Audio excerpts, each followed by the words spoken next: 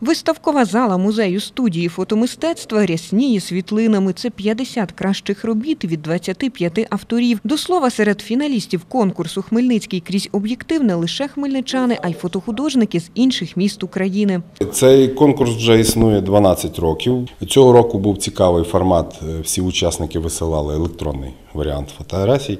Ем, Взяли участь 50 фотографів, 13 юних хмельничан, тому що конкурс був в трьох ем, номінаціях. Е, Мій Хмельницький дитячий, абсолютно вільна тема.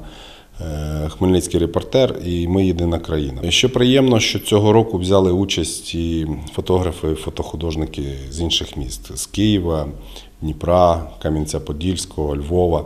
У кожній номінації визначили трьох призерів. Так, серед наймолодших учасників переможцем став Владислав Ткачук з роботою Вечірня річка. А кращим фото в розділі Хмельницький репортер визначили роботу Олександра Савченка Знання сила. Фотографію ж можна оцінити по-різному, технічну досконалість і композиційно.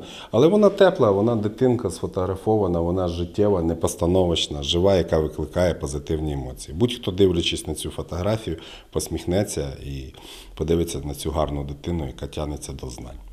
Золотом в номінації Ми єдина Україна журі одноголосно нагородило львівського фотомитця Володимира Дубаса за роботу Хочемо в Європу. Ця робота, що тут говорити, вона ми єдина країна, вона сама говорить за себе, коли ось ця е, дівчина з тих парасольок виринає з прапорцем.